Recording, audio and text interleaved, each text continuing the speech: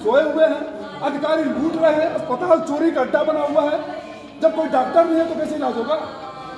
यही हकीकत है, ये हकीकत है यहाँ की। और मेरे जैसे आदमी जो इतना शालीन है संस्कारी है, पढ़ा लिखा है, उसको अल्टीमेटली उसको गुस्सा करना पड़ा। तो डॉक्टर बोले, गुस्सा क्यों कर रहे हैं आप? गुस्सा नहीं करेंगे आरती पूजा करेंगे, माला पहनाएँगे इनको। फिर ये लोग बोलेंगे अस्पताल में बवाल हो रहा है। अब जाइए उस महिला से पूछिए, कोई डॉक्टर देखा उसको मेरे सामने फार्मेसी से पूछिए। कोई ये कन्फर्म करने वाला नहीं कि मर गया है बेचारा पड़ा हुआ है लोग लेके बैठे हुए। कोई दवाई है सब आता है कुछ में न कोई दवाई, ना कोई इंजेक्शन, ना कोई डॉक्टर। और इस अस्पताल में अगर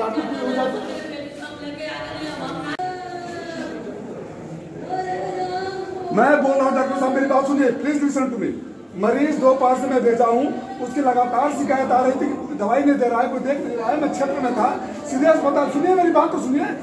मैं आप अपने फार्मासिस्ट को बुलाइए, मैं यहाँ आता हूँ, कोई देखने वाला नहीं मैं डॉक्टर को जाता हूँ, फिर फार्मासिस्ट को बुलाता हूँ, मरीज़ मेरा पड़ा है। कोई डॉक्टर नहीं कंफर्म करने के डॉक्टर को बुलाता हूँ, बोल रहे डॉक्टर आ रहे हैं डॉक्टर आ रहे हैं डॉक्टर आ रहे हैं। आधा घंटे बाद आपके डॉक्टर आते हैं, बोलते मेरी ड्यूटी नहीं है। सी में से पूछिए। तब तक मरीज़ मर जाता हमारी मरा हुआ है। पूछिए।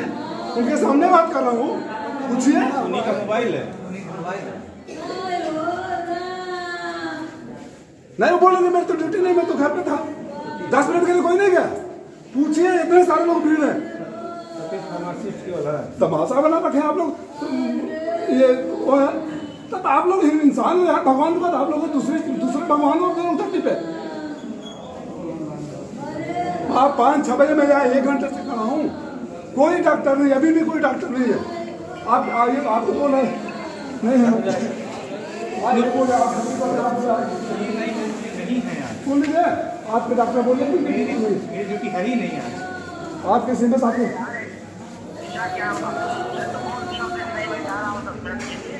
हाँ? ये बोल रहे हैं डॉक्टर हेमंत मेरे सामने है, बोले उनकी ड्यूटी नहीं है। चालू है बोलिए। हाँ। बोलिए। हेलो। क्या? क्या बोल रहे हैं? अरे मेरी ड्यूटी कहाँ थी मुझे तो घर से फ़ोन पे बुलाया है। हाँ मैं डॉक्टर अहमद बोल रहा हूँ। आप दो बजे तो आप रख, आप ज़बरदस्ती उस पर रखे थे ना फिर दो बजे से? आप हमको दो बजे से रख दिए थे ज़बरदस्ती लेकिन हमारी ड्यूटी थोड़ी ही थी। ड्यूटी तो हम अपनी सुबह करके चले गए थे। आइए। जल्दी आइए। जल्दी आ जाइए सहमी साहब। ज़बरदस्ती से ये ये देखो क्या क्या मामला हो गया? है यहाँ मैं दो दो बार से गरीब मरीज़ को भर्ती कराया हूँ। बार बार फ़ोन आ रहा था कि कोई डॉक्टर नहीं, कोई देखने नहीं आ रहा है। मैं जब यहाँ आया, आधा घंटे से डॉक्टर खुजवा रहा हूँ, कोई डॉक्टर इस अस्पताल में नहीं है। फिर मैंने फार्मासिस्ट को बुलाया तो बोला कि तो पेशेंट मर चुका है। कब का मर चुका है, किसी डॉक्टर को पता नहीं कंफर्म करने के लिए भी कोई डॉक्टर नहीं। तब से मैं खड़ा हूँ तो ये डॉक्टर को फ़ोन करके अभी आधे घंटे पहले ये आए डॉक्टर तो बोले, मेरी ड्यूटी नहीं है सीएमएस से बोलो। सीएमएस को फ़ोन कर रहा हूँ, बोला, कोई डॉक्टर ड्यूटी पर हेमंत की ड्यूटी है, आपने अपने सामने देख लिया। डॉक्टर हेमंत बोल रहे हैं कि उनकी ड्यूटी नहीं है को बोल रहे हैं कोई डॉक्टर नहीं। इस समय आप लोग जाइए ने बताया है उसकी मैं सघन जाँच करूँगा। जी।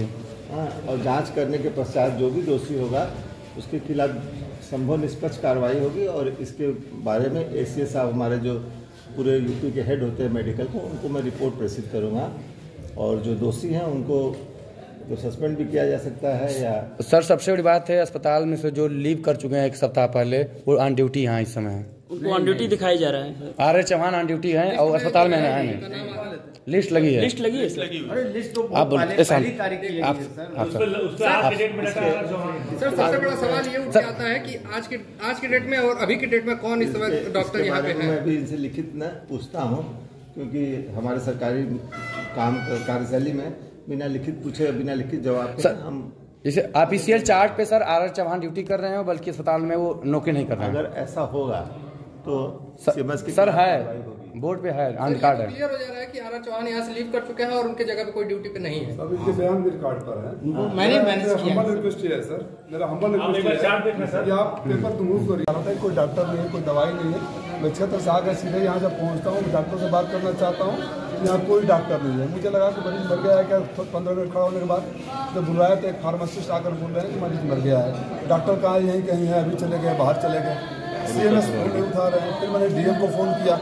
डीएम साहब को बा, बात करने के बाद उनके पी से बात करने के बाद एक डॉक्टर आते हैं बोलते हैं आप चिल्ला क्यों रहे मेरी ड्यूटी नहीं है सी एम एस नहीं है मैं जाकर सी एम एस से पूछी। सी एम एस उनके नंबर से जब सी एम एस को फ़ोन किया तो बोल रहे हैं कि भाई बोल देते कि दस मिनट के लिए कहीं चला गया था। मैं तो क्यों चले गए। ये बोला मेरी ड्यूटी नहीं थी। अब ये बताइए फैक्ट ये कि मेरे आँखों के सामने एक मरीज़ तड़प के मर जाता है, कोई डॉक्टर देखने वाला नहीं है और इस एक मरीज़ मर जाता है, बहुत सारे सीरियस मरीज़ हैं। और इस समय कोई डॉक्टर नहीं है, कोई नहीं, एक फार्मासिस्ट बेचारे बैठे हुए हैं, कोई देखने वाला नहीं है। सीएमएस डॉक्टर को झूठ बोलने के लिए बोले हैं डॉक्टर बोले मेरी ड्यूटी नहीं है।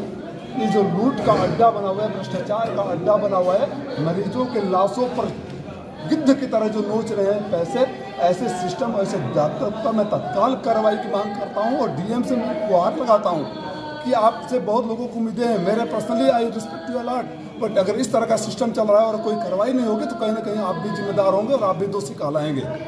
यहाँ के जो सरकारी डॉक्टर निजी अस्पताल चला रहे हैं तो कैसे रहेंगे सरकारी अस्पताल यही नहीं यही मिली बात है। नीचे से ऊपर कमीशन जाता है। अभी भी, अभी डॉक्टर ही घर पे बैठे हुए थे, मरीज़ देख रहे थे, जब मैं गुस्सा करने लगा और डीएम से बात किया पी से बात किया तो ये बात मेरे आए और बोले, हमारे ऊपर क्यों गुस्सा करें गुस्सा क्यों? चिल्ला कर क्यों बात करें इनकी आरती पूजा करूँ, माला चढ़ाऊँ, ताली बजाऊँ कि डॉक्टर मरीज़ मरीज़ मरने के बाद इतने चिल्लाने पर आगे देख लें? ऐसा है, ये सिस्टम है। They are just inhuman they are not fit to be called doctor और ऐसा सिस्टम इस सरकार का आईना है। जोगी जी, यही आपका असली हेल्थ सिस्टम है। जोगी जी, ये आपका हेल्थ सिस्टम है। जिसको हमने बना कर दिया था आपने उसको भी बेच दिया।